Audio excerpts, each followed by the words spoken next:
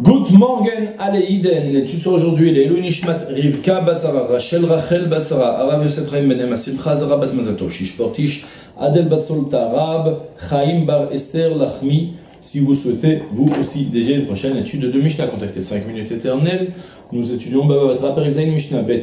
Bet Kor Afar Animocher Lecha Mida Bachevel. Pichet Kol Shehu Yenake, Hotir Kol Shehu Yachazir.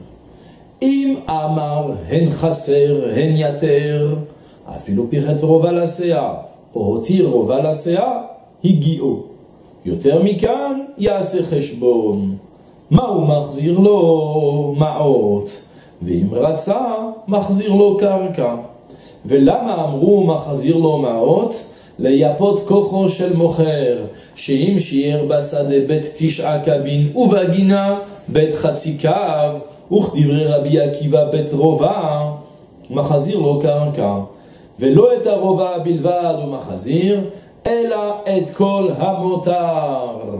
On a déjà introduit dans le cours précédent le, le, le sujet du Pérec, de tout notre chapitre, où on va parler des situations lorsque l'on vend un champ qui est censé avoir une certaine taille, et on se retrouve que concrètement, il n'a pas toute la taille prévue, il en a peut-être plus, il en a moins, tout va dépendre comment on s'est exprimé. On va aussi, dans la Mishnah précédente, on considérait s'il y avait des parties du champ qui n'étaient pas exploitables, avec des, un rocher en plein milieu, une crevasse en plein milieu.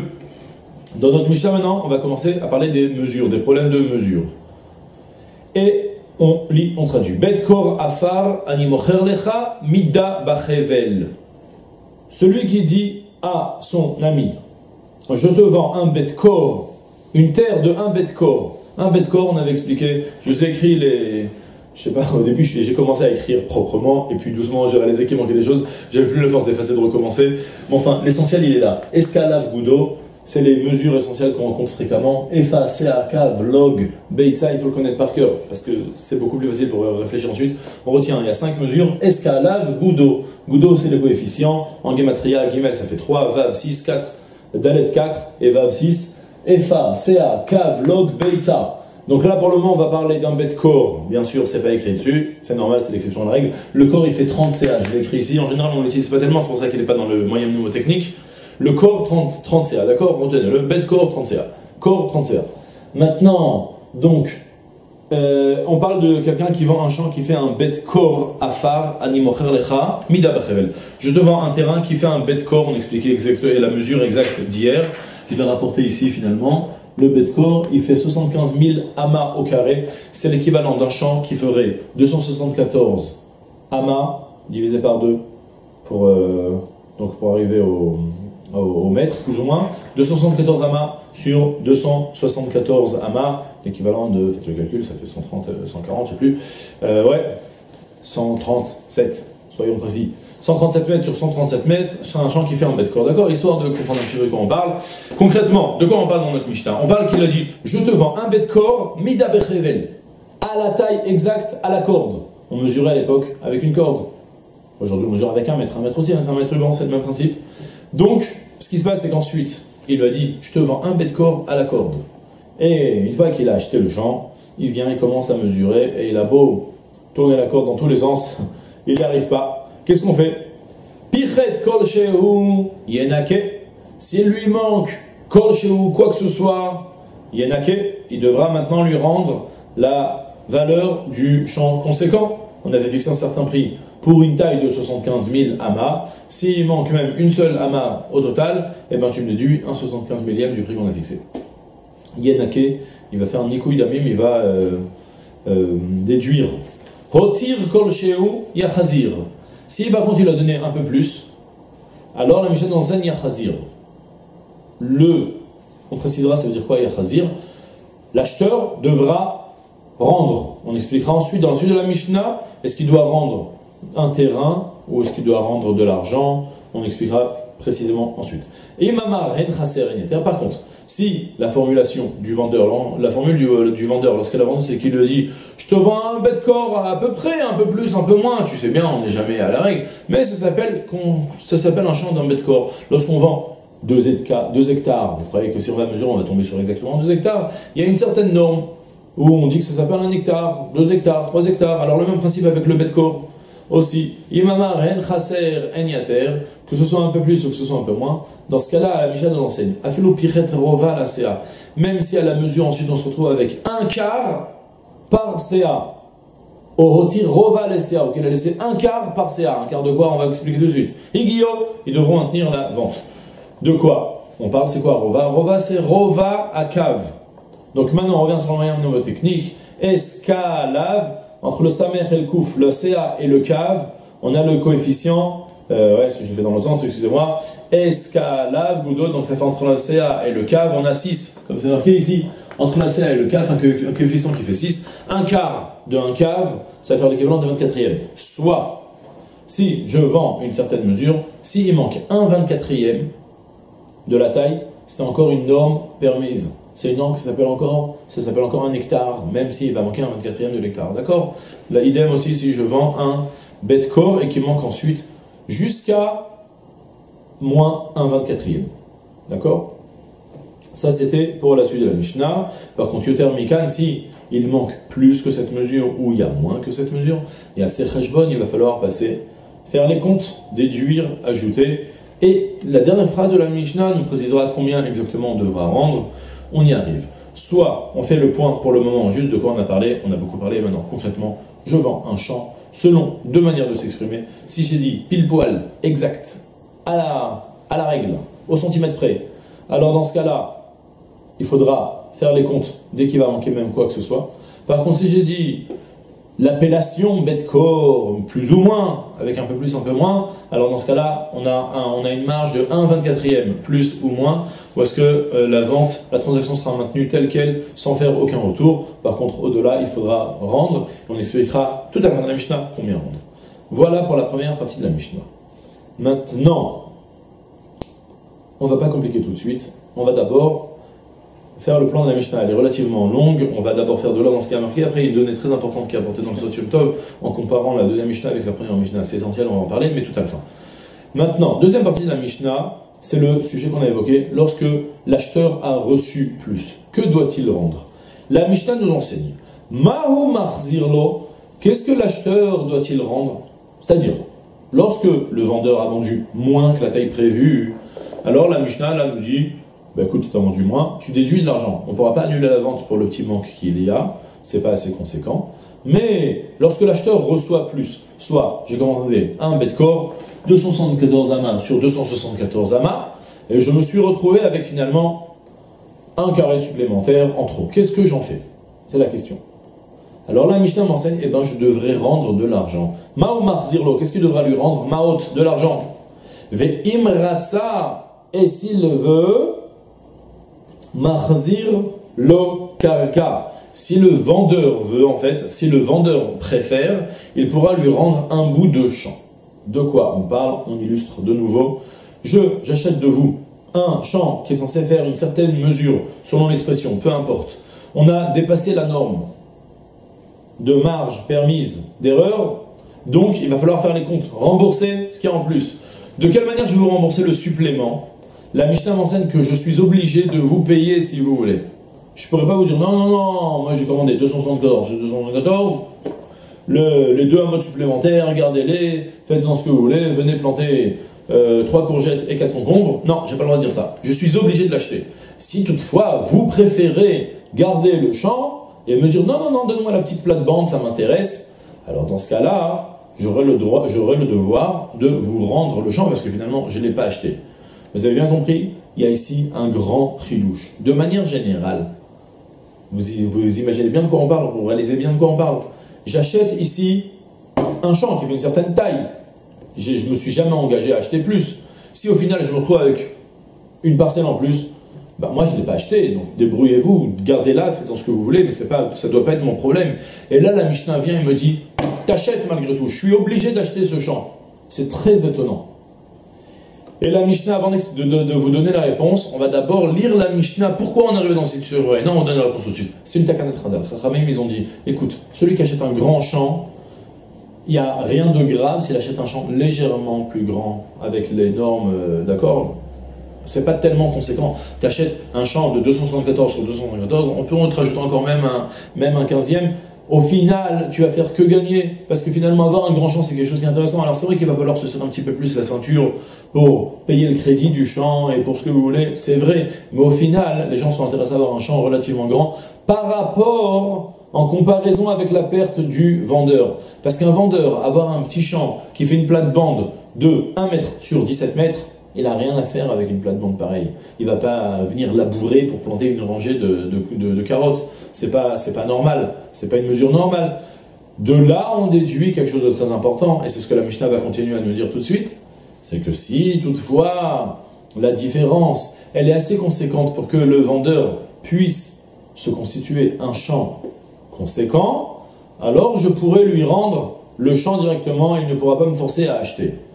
Et la Mishnah maintenant va allonger sur quelques lignes pour me dire c'est quoi laisser un champ conséquent, c'est quoi laisser un jardin, un verger conséquent? Et là, ça va nous rapporter tout simplement à une Mishnah qu'on a déjà étudiée dans le premier Pérec. C'était le Pérec Aleph Mishnah Vav.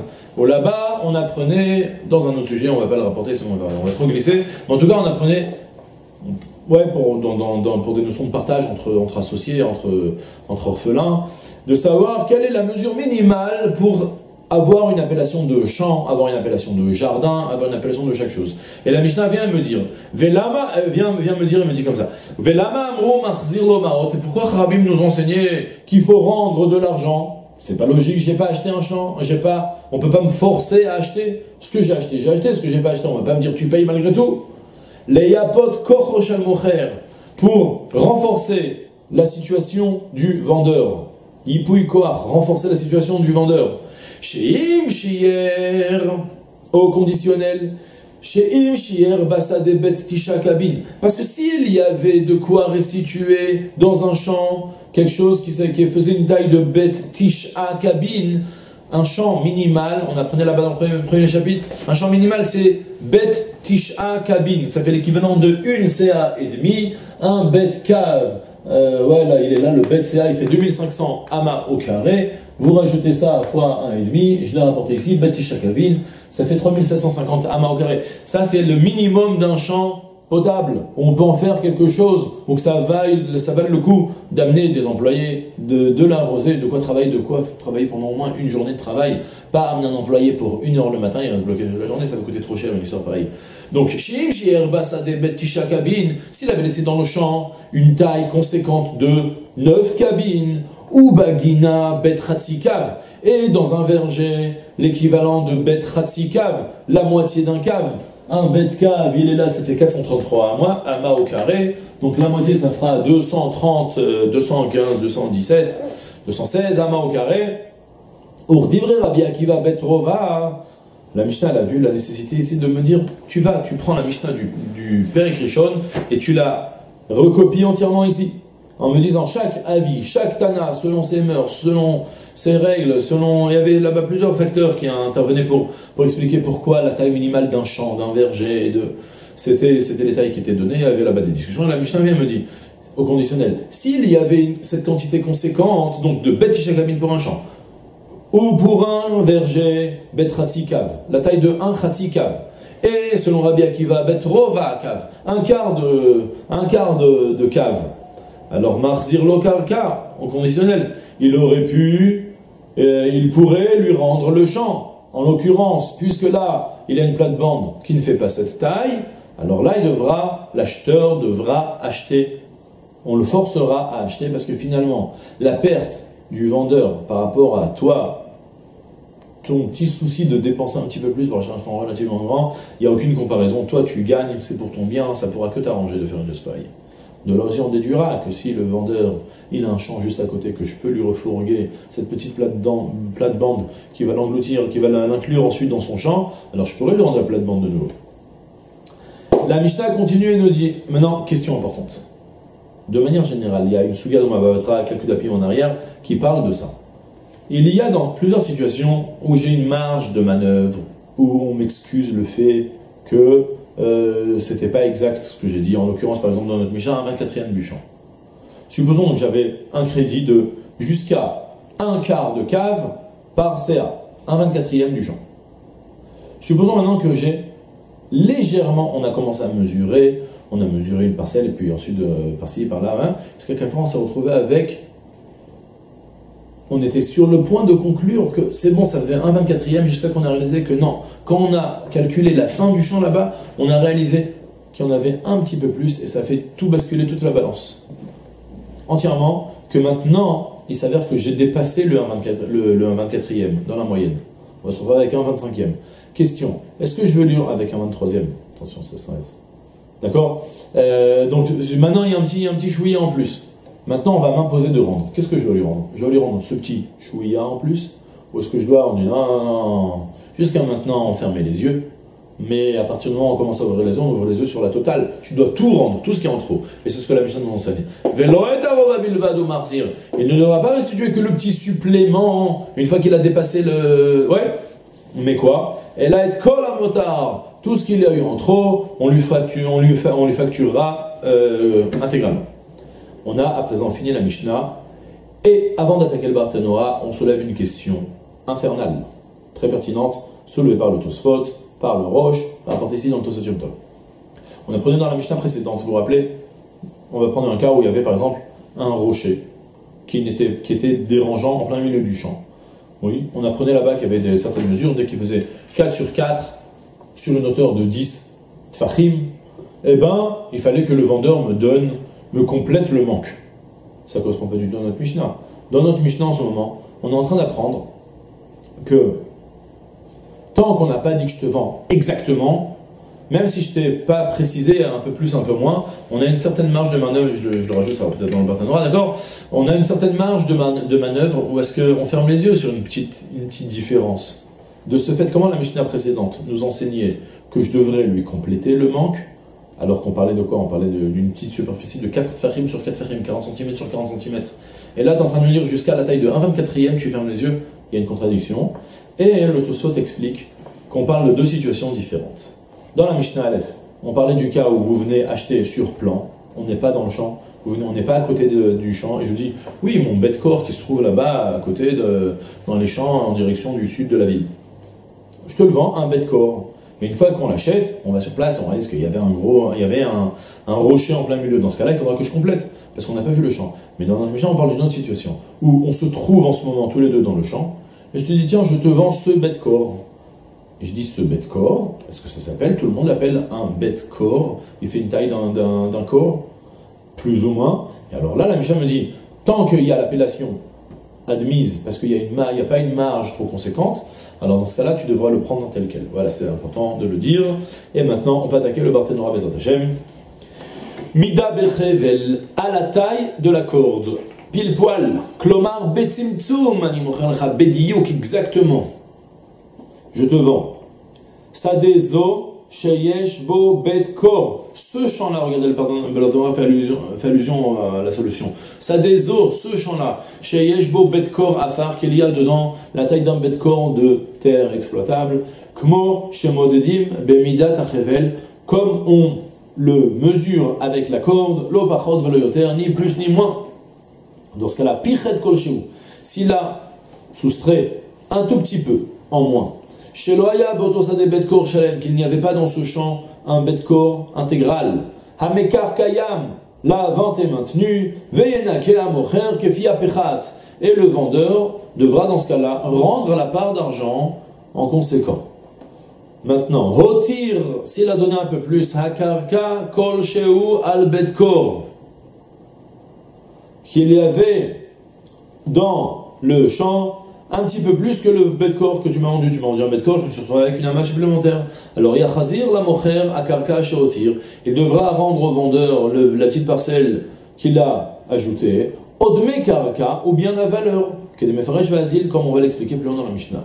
Imamarlo, donc c'est la suite de la Mishnah où il lui a dit Hen chaser ven yater. Mocher la lokach, le vendeur il a dit à l'acheteur Bedkor afarani mocher la la taille d'un Hen chaser hen que ce soit un peu plus, que ce soit un peu moins. Bekar vekar damim, à tel et tel prix. Velo amarlo mida bechevel, il lui a pas dit le mot mida bechevel exact. Afilo pichet o hotir o vakav, même s'il lui a soustrait ou ajouté un quart de cave, les kol pour chaque CA, des Hainu Shloshim Reviyot le Betkor. On a donné une mesure à l'échelle. C'est-à-dire, dans la Mishnah, on parle du cas où il a vendu, je sais que le problème du Bratanora. Dans la Mishnah, on parle qu'il a vendu un bet corps. Un corps, il fait 30 CA. Et la Mishnah me dit ensuite la marge de, la marge permise, elle me l'exprime par rapport à la CA. Par CA, un quart. Donc, le partenaire maintenant va se soucier de me dire, donc finalement, si par CA j'ai un quart, lorsque je vends un corps qui fait donc 30 CA, j'aurai droit à combien? Ben, j'aurai droit à 7,5 caves. D'accord? Les chol CA, pour chaque CA, les bêtes corps. 30 quarts de cave, donc 30 quarts, ça fait 7,5 euh, caves, les corps, pour chaque corps, il aura reçu. Ou midetane tana afilu pichet rova lesea, velotana afilu pichet shiva kavin mertzal. Maintenant, on se lève le problème. Pourquoi tu me parles que tu vois un corps Pourquoi tu n'exprimes pas maintenant la marge par rapport au corps Pourquoi tu as besoin de me, me renvoyer au CA Alors je déduis de là Sham inan mina Je déduis là que même que je, lorsque je te vends un tout petit champ, ou on se trompe moins facilement, il y plus, on aurait pu croire qu'il y a plus de tromperie, peu importe, d'accord Kigon betsea ni comme si je te vendais par exemple un, un petit champ de un betsea ni mocher lecha, et chaser en j'ai dit cette phrase, en chaser en qui est un peu plus, qui est un peu moins, im pichet rova o sifrova igio. Si je t'ai ajouté ou un peu, ou diminué, malgré tout, la vente sera maintenue. Veyamar bet korsta, maintenant le partenaire parle d'une aussi de son corps, c'est que je te vends un bet corps. Ni je dis exact, ni je dis plus ou moins. Je te vends un bet corps. Alors là, Stama nami kehen chaser yeter dami, même s'il ne précise pas, stam, qu'il ne dit rien, l'istom, il a fermé, même il ne précise pas donc. Alors, c'est comme si qu'il avait dit un chaser qui est un peu plus qu'un peu moins. Yoter mikan, on, maintenant, s'il y avait plus qu'un 24e de marge, donc il lui a, il diminué de 1 23e. Yoter merova l'école CA, qui avait plus que un quart pour chaque CA. S'il lui a donné plus, il faudra, il faudra dans ce cas-là faire le décompte. C'est-à-dire, Yarshov Kama Rotir al Betkor. Il devra calculer maintenant par rapport à tout le Betkor, combien il y a en plus. Vekama Shavim Lefi Cheshbon, Shemachar et Betkor. Il faudra calculer en rapport au prix qu'on a fixé pour tout le Betkor, combien finalement il y a eu de différence de marge en plus, et déduire, faire le calcul. Pourquoi Khamim ont décrété qu'il devrait rendre l'argent et pas rendre le champ? Chez Minadin et la Karka, car selon la loi stricte, il n'a pas à rendre, il n'a à rendre que le champ. Jamais tu en forces quelqu'un à acheter. Car l'acheteur n'a acheté que ce petit bête corps, il n'a pas acheté plus, que ce bête il n'a pas acheté plus. Et Chachamim n'ont décrété qu'il devra lui donner l'argent en contre-valeur, en contrepartie de ce supplément, et là, il y a uniquement pour renforcer la position du vendeur, c'est-à-dire, afin qu'il ne perde pas complètement euh, ce petit champ, parce que vous comprenez bien qu'il ne veut pas venir labourer cette petite parcelle, elle est trop pas intéressante.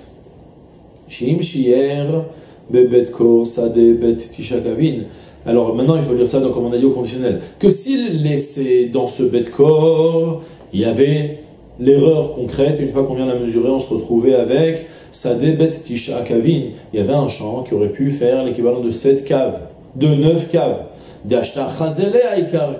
Car à présent, ce champ est conséquent est intéressant. Comme on enseigne dans la Mishnah, dans le premier chapitre, que 9 caves, c'est une taille conséquente pour un champ. Il n'y a aucune raison de le forcer à acheter le bout de champ. Et la mocher le vendeur récupère son champ.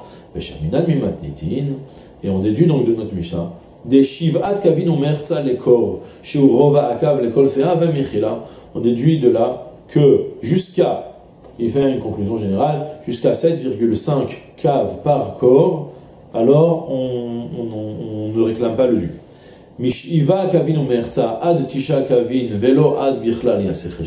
Par contre, à partir de 7,5 jusqu'à 9, alors on forcera l'acheteur à acheter la petite parcelle supplémentaire. Tisha kavin yoter karka. Et au-delà de 9, il devra, 9 caves, il pourra même lui rendre s'il veut il pourra lui rendre le champ entièrement pour que l'autre se débrouille avec, le vendeur se débrouille avec. Alors maintenant ça porte sur la dernière partie de la Mishnah, qu'on a expliqué qu'en réalité la Mishnah enseigne comme ça. Achikamar, comme ça il faut lire la Mishnah. Echad amran cheshbon, lorsque je te dis qu'il faudra faire le décompte. O kaka, ou bien rendre un bout de terrain.